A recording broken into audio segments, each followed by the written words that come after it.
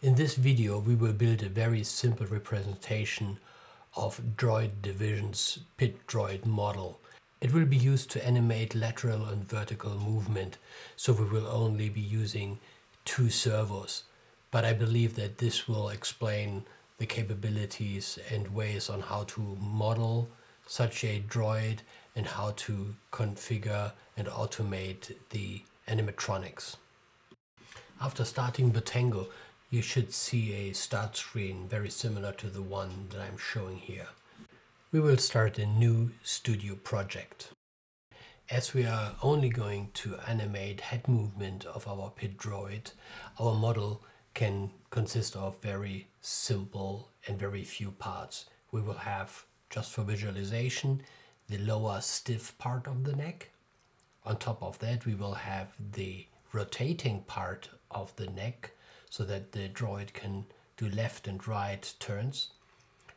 On that we will have the head base that we will use for the head to move up and down so that we can have our lateral and vertical movements. And for the movement capabilities, the parts will be joined by um, moving parts, by joints. Let's start by adding or creating our first part, a cylinder, which will be the stiff part of the lower neck. That's why we will also give this part the name stiff neck.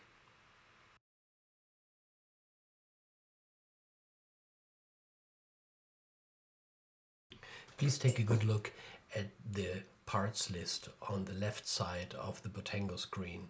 So far it only shows stiff neck, but this is going to show the parent-child relationship between the different elements that we will be using to build the robot's representation. The parent-child dependency is very, very important in Bottango as childs move with their parent part. So if you have something that is like the neck and you have the head on top of it, if the neck is the parent of the head and you rotate the neck, the head will move with it. But it doesn't work the other way around. If you move the child, in our case the head, the neck will not be manipulated by it. We will now add a joint to our stiff neck. This joint will be used for the rotating part of the neck. So before you create the new part, please make sure that stiff neck is selected in your parts list. And then you can add the joint to the stiff neck and you can use the moving capabilities or part moving capabilities of Bottango to move the joint up onto the top of the stiff neck. We will call this new part neck servo. And please look at the parts list on the left hand side where you can see that neck servo is shown under stiff neck and there's a light indentation which shows that neck servo is a subcategory or a child of stiff neck. In our next step we will add the rotating part of the neck which should be a child of the neck servo. So please again make sure that neck servo is highlighted on the parts list. You can do that either by clicking on neck servo in the parts list or on the visual representation of the servo.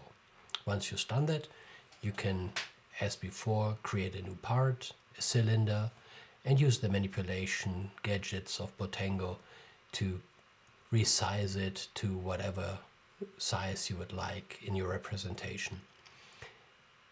I would place the new rotating neck part slightly above the servo and leave a little gap so that in the visual representation you will see the stiff part of the neck, the servo and the rotating part of the neck.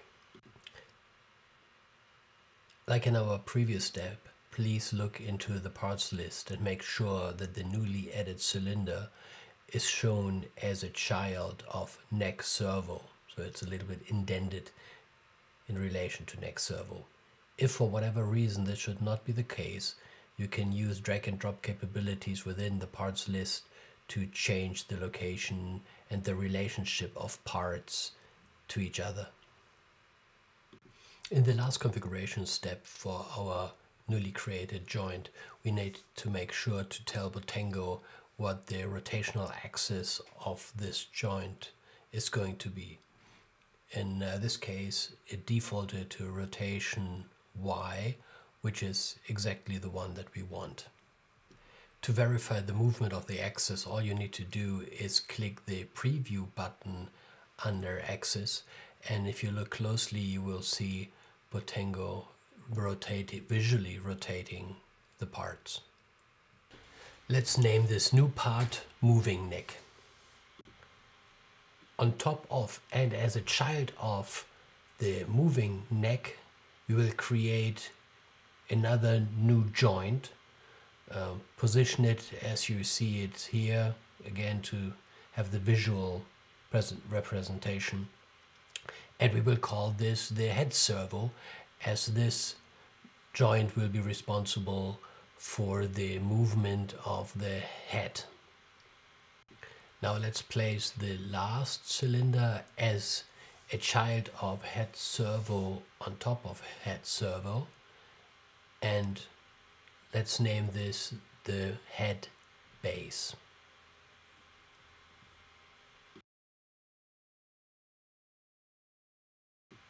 The last step to do is change the rotational axis for the new servo, for the head servo. Um, best way to navigate to his uh, configuration page is just click on the head servo in the parts list on the left hand side, which will open the configuration page for the servo on the right hand side of the screen. If you go down to axis, all you will need to do is change the rotating axis to its new value that we want, in our case, rotation X. And again, you can use the preview button to verify if the joint and the part move in that direction that you expected. This concludes this video. And in the next video, we will look into connecting the real world servos to Bottango.